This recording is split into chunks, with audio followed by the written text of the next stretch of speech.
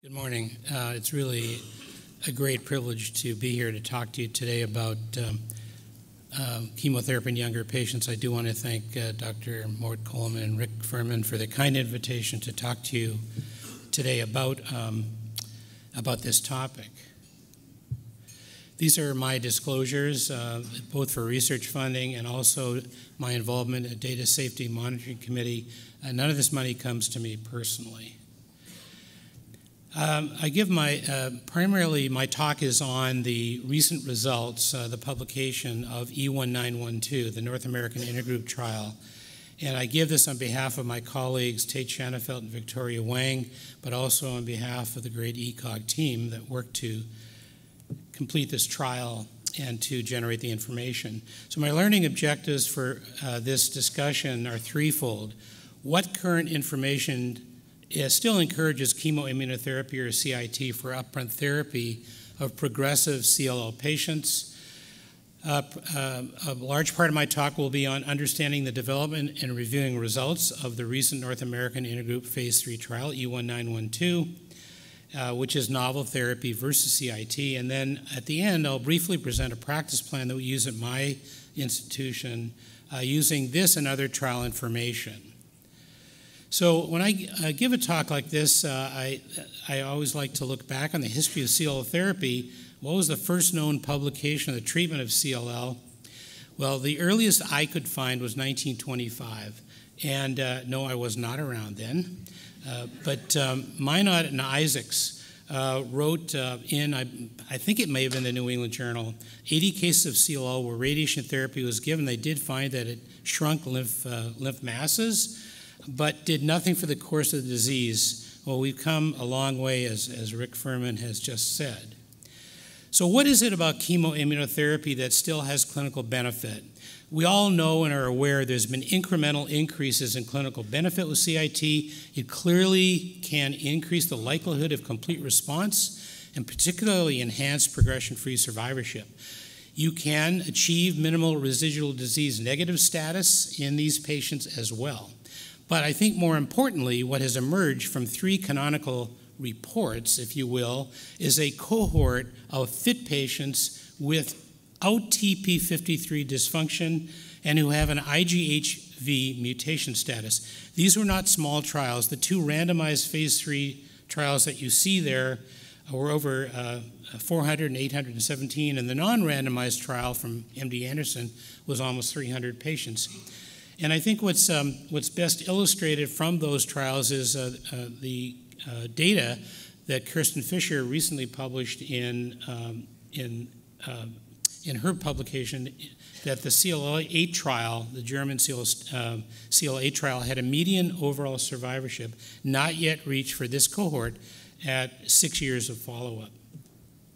So, in terms of chemoimmunotherapy clinical benefit, the consensus would still be that FCR is an excellent initial approach for young, fit CLL patients, especially if they're P53 and 17P negative with the IGVH mutation status. Of course, it is mitigated by the possibility of AML or MDS, myelodysplastic syndrome, and this can increase over time. Uh, the current estimates are perhaps 4 to 5 percent, but it may be higher in some cohorts. While this is all the, uh, there for you to consider, some patients may still prefer this time limited approach despite the risk of secondary hematologic malignancies. So, we are obviously all aware there are a growing array of novel agents approved by the FDA, and I've listed these for you. Ibrutinib headlines all of these. You can use this single agent uh, oral drug for all patients. But there are a number of other options primarily for relapse refractory, but now some for upfront use that are listed in this slide. Now, in 2013, 2014, uh, we were all scratching our heads about what to do. What was the best way forward? Should we be using chemoimmunotherapy or novel agents? And what came out of that uh, discussion was a strategy where two trials were designed by the three largest U.S. cooperative oncology groups, ECOG, the Alliance, and SWOG. And the strategy there was to compare ibrutinib based therapy to the current standard of care, which was chemoimmunotherapy, for both older and younger patients, and the cut point there was 70. We were then, uh, th- these trials were then collectively opened by all groups, leading to both trials completing a rapid accrual ahead of schedule. So the development of E1912 was, of course, focused around uh, the fact that ibrutinib was increasingly being used for frontline and relapse refractory, but the efficacy of ibrutinib as a first-line treatment for young patients relative to the most efficacious CIT regimen was unknown. So E1912 basically assessed the efficacy and safety of continuous ibrutinib dosing in combination with cycles of rituximab compared to FCR for patients under the age of 70. So this is the study design. You can see the stratification on the left. You, uh, individuals had to be previously untreated, younger than 70, good performance status, no deletion 17p by FISH, which is important to keep in mind when interpreting the results of this trial. The two arms are randomized in a two to one fashion. So ibrutinib rituximab given in the schema you see there against the gold standard, if you will, of FCR, the six cycles of FCR. For patients who responded on the IR arm, they were allowed to continue on ibrutinib at the dose you see there until disease progression. This is the intent to treat in per protocol cohorts. Uh, so the stratification is listed again for you. The, there are 529 patients who underwent the two to one randomization. On the IR arm, 22 were ineligible, and on the FCR arm, nine were ineligible. And the data that I'll show you is the data uh, uh, that was obtained uh, at the 34 month uh, interval. So this, these are the demographics of that trial. Pretty young patients, as you can see, age 58. Uh, for the most part, there was an even distribution of age, Rai stage, and FISH data. However, please note that um, there was somewhat of a marked, um, more marked increase in the IGVH unmutated for the IR arm at 75%. This is the progression free survivorship at the three year time point. The three year rate was 89.4% versus 72.9%. So the IR arm had a higher progression free survivorship. When we broke this up into unmutated and mutated status, the progression free survivorship for the unmutated was clearly benefited by the IR arm at the three year time point with a 90.7% versus 62.5% for the FCR arm. For the mutated cohorts, it looked like both arms were equivalent.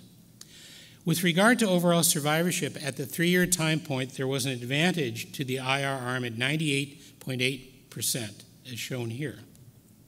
This is a forest plot, and what this is basically, if you're not used to looking at it, is the hazard ratio of one arm over the other in terms of benefit for various cohorts. And what you see here are a variety of parameters that we would all uh, typically use. You can see them there on the slide, and uh, pretty much all of these uh, were clearly favoring the ibrutinib rituximab arm.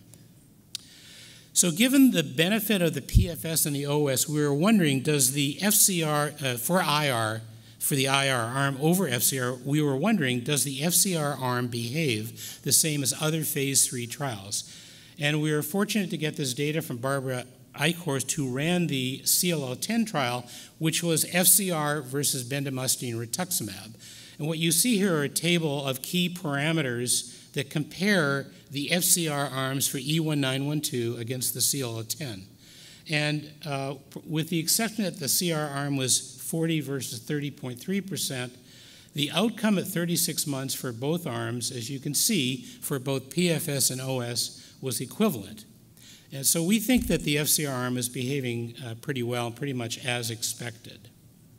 What were the causes of death in this trial?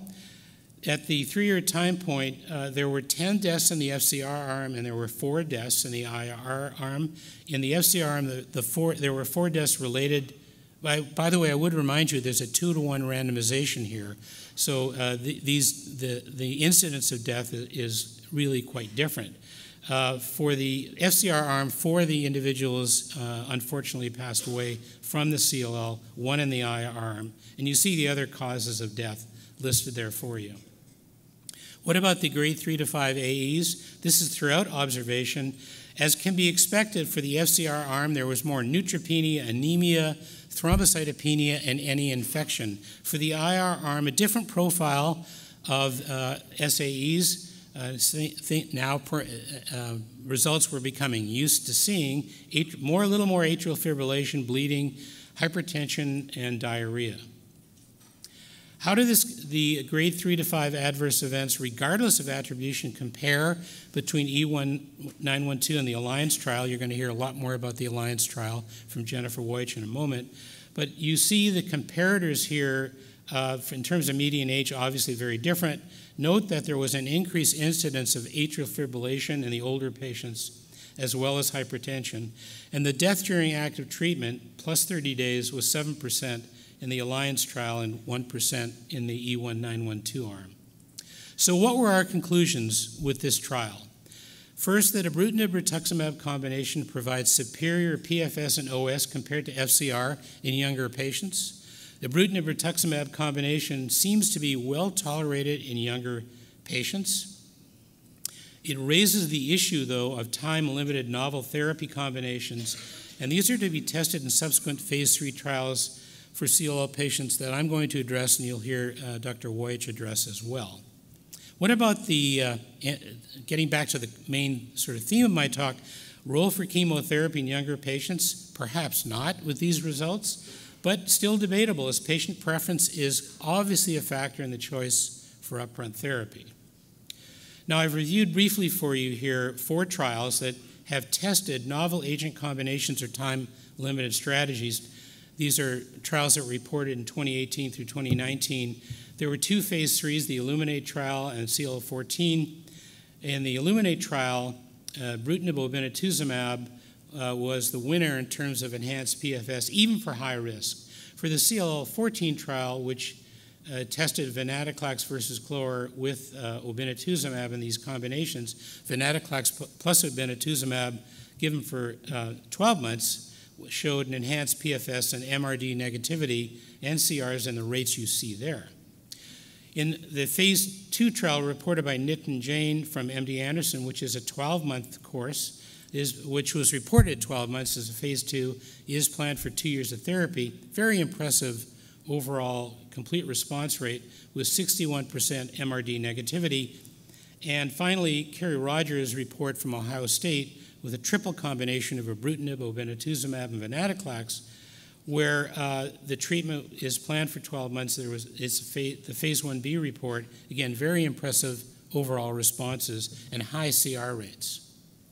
I looked at these uh, front trials as they relate to age, uh, again, given the theme of younger versus older. For the two phase threes, they actually looked at older patients, and it appears that the median age was 71 to 72, and it appears to be relatively well tolerated. The two other trials, the phase two and the phase one, were younger, although the ibrutinib and the venetoclax was um, 65 years, 30% of these were 70 years of age or older. So uh, again, these appear to be fairly well tolerated approaches. So the next phase three trials, there's the Alliance trial, which will be led by Jennifer Woyach, and the ECOG trial led by Tate Shanafelt. Uh, you can see the numbers there for them. We don't have fancy names for them. We probably should. In any case, these trial designs for the two North American intergroup phase three trials are comparing doublet versus triplet therapies. This is basically ibrutinib, obinutuzumab, IO versus uh, IO plus venetoclax. Note there is no chemotherapy or CIT in these schemes. The trials are time limited for IOV. The time limited for the ECOG trial is 18 months. The Alliance trial, as I understand it, is 12 months, and then stop if the MRD negative complete responses. Again, the cut point will be 70 years of age, uh, with the ECOG trial uh, taking in the younger patients. Both trials were activated in March 2019 and are actively accruing. This is the schema for the ECOG led trial, EA 9161. You see uh, the eligibility here is very similar to E1912, have to be younger than 70, no 17P patients. Arm A is the triple uh, arm, uh, Arm B, the doublet. It, this schema takes advantage of a, a, debulking induction consolidation strategy. For the Arm A, once they complete that, MRD value is drawn and they are observed if responding. On the Arm B arm, they continue on ibrutinib until progression. Primary endpoint is PFS, progression-free survivorship, and there are a number of secondary endpoints that are listed there for you on this trial. I promised I'd end up with uh, our practice plan now incorporating the information we have from these trials. So the, the uh, previously untreated CLL patients in need of therapy, we still encourage clinical trial participation.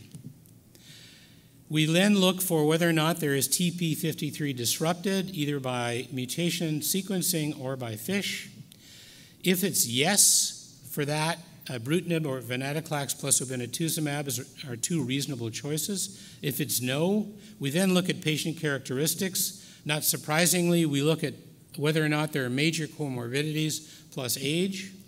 If they are older or have comorbid features, ibrutinib, venetoclax plus obinutuzumab or obinutuzumab alone, we think are reasonable choices. If they're younger than 65 years and fit, then uh, and also mutated, FCR still comes into play along with novel combinations listed there for you. If they're unmutated, then CIT disappears and ibrutinib plus or minus rituximab venetoclax plus obinutuzumab should be considered. I just want to end my talk by acknowledging, uh, particularly for E1912, the participating patients and their families, support by the NCI and CTEP, NCTCN participating sites and site investigators, Pharmacyclics, and um, again, uh, my colleagues Tate Shanafelt and Victoria Wang. I thank you very much for your attention.